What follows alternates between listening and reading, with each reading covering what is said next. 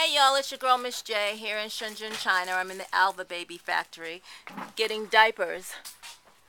Just reusable cloth diapers. You see, this is what we have so far. Getting more. Mister is asleep. I'll be doing my review later on, but just wanted you to see they have loads and loads and loads and loads and loads and loads and loads of diapers.